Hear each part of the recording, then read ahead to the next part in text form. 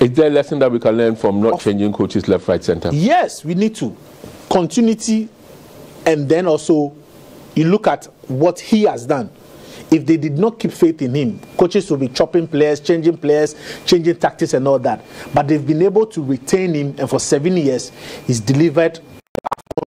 He has been able to deliver two World Cup appearances to them. So it is important that we have that, you know, in terms of the technical department, you have that longevity. For, for the past 20 years, Ghana has not been able to do that. For the past 20, 30 years, I don't remember any coach that has coached a Black Stars for more We've than had three years. Siki Akono, we've had uh, For more than Otto, three years, nobody has done had that. uh, Count, you uh, can't Milo. count. You can't count. Listen, But, uh, there's Djokovic. If you want to start, there's Djokovic from 2010.